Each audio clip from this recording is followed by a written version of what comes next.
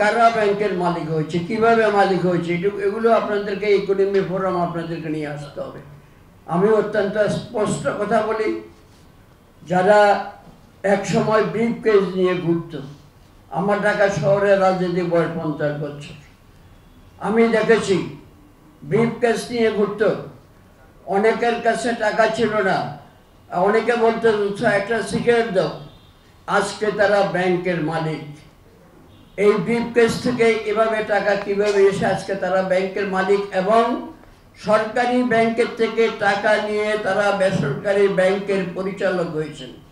আমি জানি না, আমাদের অর্থ মন্ত্রণালয় এই যে যারা সরকারি ব্যাংকের থেকে টাকা নিয়ে পরিচালক হয়েছেন বেসরকারি ব্যাংকে, নামগুলি প্রকাশ করা উচিত। আমাদের দেশের হাজার হাজার লক্ষ লক্ষ বেকার, লক্ষ লক্ষ ক্ষুদ্র মাঝারি শিল্প উদ্যোক্তা তাদের কিন্তু ঋণ মুকুব করা হয় না।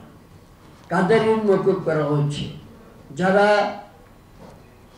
ব্যাংকের টাকা, কোটি কোটি টাকা তারা নিয়ে, সেগুলি তারা কি করছে বছরের পর বছর, প্রতি বছর তাদের ঋণ মকুব করা হচ্ছে।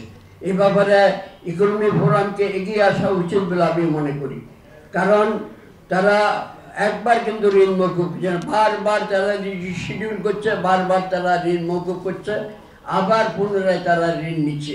তাদের যে ঋণগুলা, এই লক্ষ কোটি টাকার এই ঋণ যেগুলি মকুব করা হচ্ছে, এগুলি যদি আমরা সিমি ফাউন্ডেশন সহ ধরনের যেসব প্রতিষ্ঠান রয়েছে, আমরা যদি তাদেরকে এই টাকাগুলো দেই, তাহলে আমাদের দেশ আরও অনেক দূরে এগিয়ে যাবে। ক্ষুদ্র মাঝারি শিল্প প্রতিষ্ঠান যাদেরকে আমরা এই টাকাগুলি দিয়ে আমরা তাদের ব্যবসাকে আরও সমৃদ্ধিশালী করতে পারি।